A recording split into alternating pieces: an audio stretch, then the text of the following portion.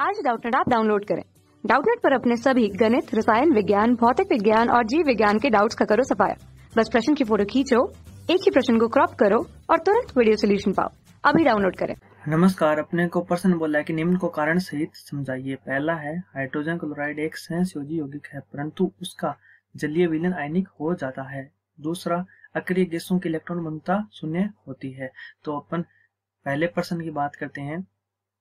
कि अपन hydrogen chloride की संरचना बनाते हैं एच सी एल तो अपने को पता है कि हाइड्रोजन का एक इलेक्ट्रॉन और क्लोरीन का एक इलेक्ट्रॉन साध्य के द्वारा एच सी एल यौगिक का निर्माण करते हैं, जो कि एक सहसयोजी यौगिक है। और अपने को यह भी पता है कि क्लोरीन की विद्युत ऋणता हाइड्रोजन से ज़्यादा है। तो यहाँ पे क्लोरीन की विद्युत ऋणता हाइड्रोजन से ज़्यादा है।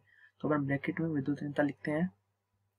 क्लोरीन की क्या है ज़्यादा विद्युत ऋणता। विद्युत ऋणता।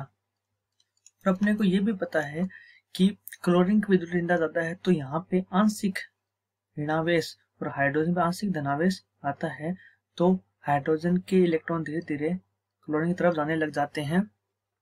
तो अब बात करते हैं जलीय विलयन आयनिक हो जाता है कैसे? तो अपन एक कंटेनर लेते हैं। जैसा कि चित्र में दर्शाया गया है कि अब ये अपना एक कंटेनर है। इसके अंदर पानी भरा हुआ है। मतलब एक जलीय विलयन है मतलब पानी है।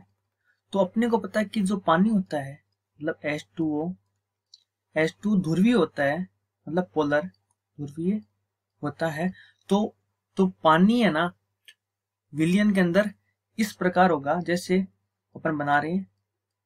इस प्रकार होगा। तो अपने को यह भी पता है कि कि जो हाइड्रोजन है, और ऑक्सीजन है ऑक्सीजन की विद्युत ऋणता ज़्यादा है तो ऑक्सीजन के ऊपर आंशिक ऋणावेश होगा, और हाइड्रोजन के ऊपर आंशिक धनावेश होगा। तो ये जो क्लोरीन है ना तो क्लोरीन को हाइड्रोजन घेर लेगा। जैसे अपन बात करते हैं, ये क्लोरीन है, और ये एक हाइड्रोजन है। तो क्लोरीन को है ना हाइड्रोजन घेर लेगा, जैसे चित्र में दर्शा रहा हूँ। ये हाइड्रोजन ये ऑक्सीजन ये हाइड्रोजन तो हाइड्रोजन घेर लेगा क्योंकि क्लोरीन के ऊपर आंशिक ऋणावेश है और हाइड्रोजन के ऊपर आंशिक धनावेश है तो ये इसको घेर लेगा। तो अब ये जो हाई बच्चा हाइड्रोजन है ना तो हाइड्रोजन को ऑक्सीजन घेर लेगा इस प्रकार। क्योंकि अपने को पता है कि हाइड्रोजन के ऊपर आंशिक धनावेश है और ऑक्सीजन के ऊपर आंशिक ऋणावेश है तो ये एच का जो बंध है, बीच में से टूट जाएगा। ऐसे टूट जाएगा और कंटेनर में अपने को H प्लस और सी एल माइनस आयन मिलेगा।